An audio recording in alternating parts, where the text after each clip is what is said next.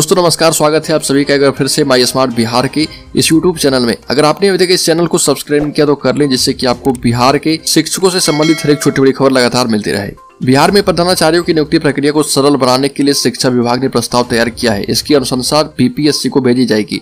प्रस्ताव के मुताबिक निगेटिव मार्किंग की व्यवस्था समाप्त हो जाएगी, साथ ही परीक्षा का समय भी बढ़ाया जाएगा।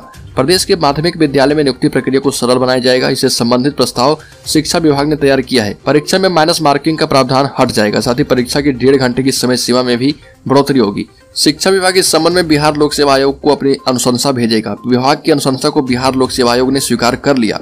तो अगले महीने होने वाली प्रधानाचार्यों की नियुक्ति परीक्षा में गलत उत्तरों के लिए नंबर नहीं काटे जाएँगे। साथ ही परीक्षार्थियों को डेढ़ घंटे से अधिक समय भी मिल पाएगा। शिक्षा विभाग से मिली जानकारी के मुताबिक बिहार लोक सेवा आयोग की ओर से छह प्रधानाचार्यों की नियुक्ति के लिए जो परीक्षा ली गई थी, उसमें केवल चार सौ इक्कीस अभ्यर्थी सफल हुए थे। इस तरह प्रधानाचार्यों की छह से अधिक रिक्तियाँ बाकी रह गई है। ऐसे में बड़े पैमाने पर अधिकारियों के असफल हो जाने के कारण आयोग को दोबारा से विज्ञापन निकालना पड़ा। और इसके लिए दिसंबर में परीक्षा समाप्त है खाली पदों को भरने के लिए शिक्षा विभाग ने प्रधानाचार्यों की नियुक्ति के लिए पहले से तय परीक्षा स्वरूप में बदलाव करने का प्रस्ताव भी तैयार कर लिया है।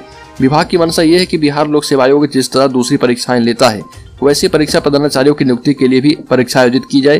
परीक्षा का समय डेढ़ घंटे से बढ़ाकर दो घंटे से अधिक करने का प्रस्ताव है। इसी तरह प्रारंभिक विद्यालय में प्रधान शिक्षकों की चालीस हज़ार पदों के लिए परीक्षा ली जानी है और इसकी परीक्षा की तिथि भी घोषित नहीं हुई है। उम्मीद है कि जल्द ही इसकी परीक्षा तिथि घोषित हो जाएगी और बीपीएससी नए प्रावधानों के तहत प्रधानाचार्यों की बहाली की परीक्षा लेगा।